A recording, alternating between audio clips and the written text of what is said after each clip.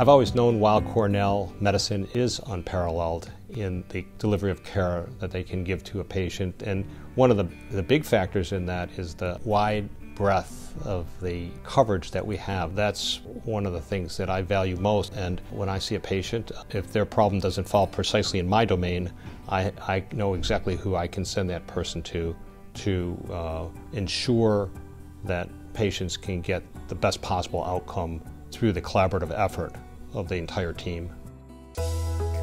My expertise is in managing tumors and growths in the head neck area, and that includes both uh, benign and malignant tumors. It's a wide range of uh, different uh, types of tumors that occur in this region. Some of the more common types of problems are tumors and growths in the thyroid gland, abnormal function of the parathyroid glands, oral cancer, throat cancer, tumors of the salivary glands, and patients who have advanced cutaneous or skin cancers that are beyond the uh, scope of the practice of dermatologists.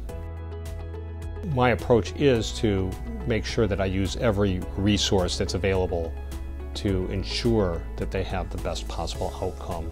The stakes are high, and in fact, you're only as good as the last operation that you did. Uh, each case has got to be uh, approached uh, with great respect to that individual patient.